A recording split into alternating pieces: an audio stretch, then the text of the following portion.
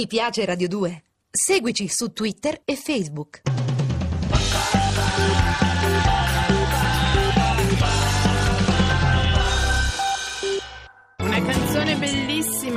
Talking Heads, Bella. rifatta dai Nouvelle Vague, Road to Road to Nowhere, Nowhere. a Miracolo Italiano sono le 11.36, oggi è lunedì dell'ultima settimana di Miracolo Italiano e stiamo parlando... Adesso così, no, No, no, no, staremo, sta- stiamo parlando di eventi e un Sì. evento è appena, si è appena appena concluso. concluso. Sigla! Venezia, Venezia. Venezia. Venezia, a Venezia. Il cinema impera. Allora non potevamo non collegarci per un'ultima volta di sunto favoloso con la nostra giornalista anche del Corriere della Sera Sì, in secondo così, luogo. esatto. Stefania Ulivi. Buongiorno Stefania, Buongiorno, bentrovati. ben trovata, stai facendo i bagagli? E sarà ben già Sono a tornata. casa, No, sono ma- tornata a casa e e viva. evento, Ma nell'immaginario partiva oggi. Allora, sei Allora. contenta di come sono andate le cose?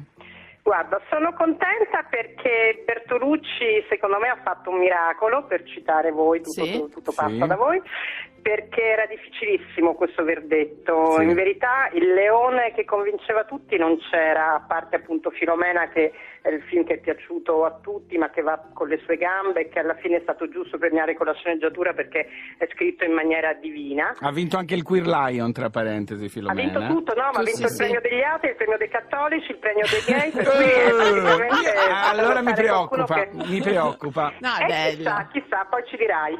Mm. Eh, per cui è comunque un verdetto che sta facendo il giro del mondo, sta facendo discutere tutti i giornali da una parte all'altra dell'oceano, il che significa che Venezia comunque resta centrale. Eh, io di questo poi ti Ehm, volevo fare una domanda appena hai finito. Sì, eh, per cui secondo me, viste le condizioni, eh, ha fatto la cosa giusta. Ricordiamo due- che ha vinto un ha documentario, vinto quindi Santo Gravi. Gianfranco Rosi, un documentario, lui è un regista molto noto, già premiato a Venezia in Orizzonti di cinema del reale, perché poi oramai ecco la de- definizione documentario Sì, per certo. stretta. Mm, mm. E, mm, gli altri due contendenti erano i- quelli che sono poi aggiudicati gli altri premi, cioè Miss Violence del greco Avranas e Stray Dogs di Tsai Ming-liang, che molti cinesi li sognavano come leone, però sarebbero state scelte che avrebbero confermato questa idea di un Bertolucci che, come dire, pensa all'arte e non pensa al Alle pubblico. sale. Senti- E invece, sì, Io ti volevo fare una domanda perché non abbiamo molto tempo. Io ho sentito dire da molta gente là che Venezia in realtà ormai è alla fine e che questa tipologia di film è stato fatto vincere perché in realtà film veri non ce n'erano perché nello stesso periodo c'è il Festival di Toronto e oramai vanno tutti al Festival di Toronto. Solo perché c'è Brad Festival di Pitt. Toronto non c'è competizione, per cui ci credo che ci vanno tutti, non c'è competizione, ci sono tutti i vincitori. Eh. E no, è un festival fantastico Certo. dove c'è il mercato e va bene che esista Toronto, perché poi i film devono essere Sì, venduti. eh. sì. E Venezia si chiama, è la prima, il primo, primo festival del cinema, si chiama Mostra Internazionale di Arte Cinematografica. Certo. Se non fa ricerca a Venezia, Chi la deve fare? Quindi non è vero niente, mi Brava, rassicuri? Io, quello che mi preoccupa è invece poi la tendenza, una volta scoperto un filone, prenderlo. seguire perché quello. adesso certo, si certo. pensa che c'è il documentario. Certo. Io temo Che quello è tipico italiano, eh? Tre metri sopra il raccordo, i ragazzi del Garrail, bocciati a boccea.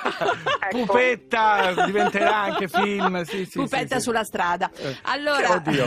Ste- Fabio! No, dico un bel film. Allora, Stefania, però concludentissimo, eh, insomma, i film italiani, sì, i film italiani si sono comportati benissimo, insomma, grande italiani sono comprati sì. benissimo e ci sono anche poi degli altri appunto, c'è stata l'attenzione per Zoran, c'è stata la grandissima attenzione per Still Life di Pasolini Che che da bello! 30 anni lavora, che è il produttore di Fulmanti. Sì, l'abbiamo 30 anni in intervistato. Inghilterra. Sì, sì, Ma insomma, ecco. l'abbiamo intervistato, Eh, certo. Però giustamente poi Barbera faceva notare che loro ne hanno visti tantissimi Eh, certo. di film italiani e ahimè non è che ci sia da stare poi Vabbè, contentiamoci così forza. A questo punto andate, andate a rivedere, escono Ecco, tutti. tutti Brava! al cinema, adesso Tutti dobbiamo cinema. sostenere il cinema. Grazie, Grazie Stefania Stefania. Olivi, un bacio, Un bacio, ciao, ciao, ciao. ciao. ciao.